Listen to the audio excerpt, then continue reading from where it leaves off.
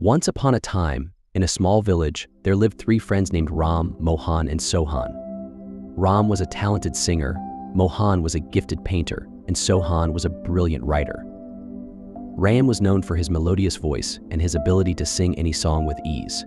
He had won many awards and accolades for his singing. Mohan, on the other hand, was known for his artistic skills. He could paint beautiful landscapes and portraits with ease. His paintings were admired by everyone in the village. Sohan was known for his writing skills. He could write captivating stories and essays that touched the hearts of the readers. One day, the three friends decided to compare their talents. Ram sang a beautiful song, and everyone praised him for his talent. Mohan then showed his paintings, and everyone admired his artistic skills. When it was Sohan's turn, he hesitated. He was not as confident as his friends. He had always compared himself to them and felt that his talent was not as great as theirs. However, when he finally gathered the courage to share his writing, everyone was amazed. His words were powerful, and his stories were captivating.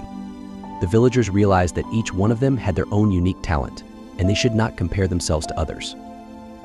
The moral of the story is that it is important not to compare oneself to others. Each person has their own strengths and weaknesses, and it is essential to focus on one's own abilities and work towards improving them. Comparing oneself to others can lead to feelings of inadequacy and low self-esteem. It can also lead to a lack of motivation and a sense of hopelessness. Instead, it is important to focus on one's own progress and growth and to celebrate one's own achievements.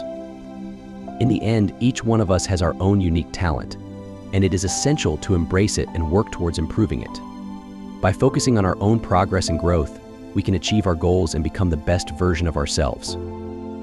It is important to remember that success is not a competition, but a personal journey. Each person has their own path to follow, and it is essential to focus on our own journey rather than comparing ourselves to others. Comparing oneself to others can lead to a sense of competition and rivalry, which can be harmful to our mental and emotional well-being. It can also lead to a lack of appreciation for our own talents and abilities. Instead, it is important to focus on our own progress and growth and to celebrate our own achievements. By doing so, we can build our self-confidence and self-esteem and become more resilient and adaptable. It is important to remember that success is a personal journey and that it is essential to focus on our own progress and growth. By staying true to ourselves and working towards improving our own abilities, we can achieve our goals and become the best version of ourselves. This is Story Spotlight. Thank you for watching. God bless you.